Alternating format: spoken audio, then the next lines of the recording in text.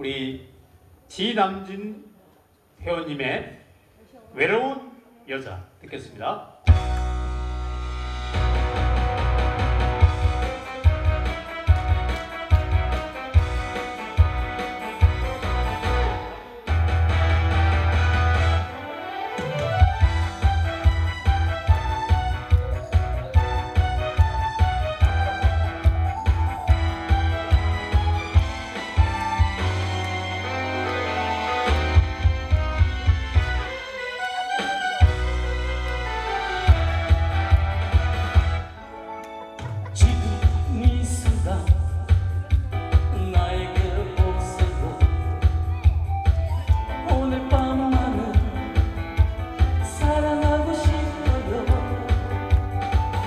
아차 있는 내 삶.